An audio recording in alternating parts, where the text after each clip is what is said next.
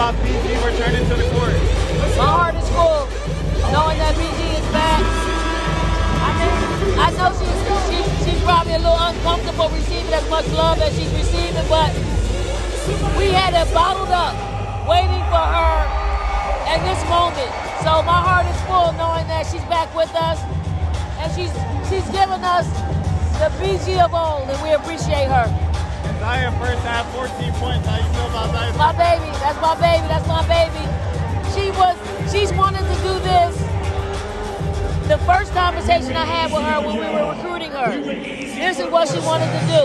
And for her to perform as well as she's performed in the first half, again, my heart is full. So, so our future in this, you know, in, in, in the WNBA is safe because, you know, players like Zia just really love up on the game in a way in which you see it and you just want the best for them.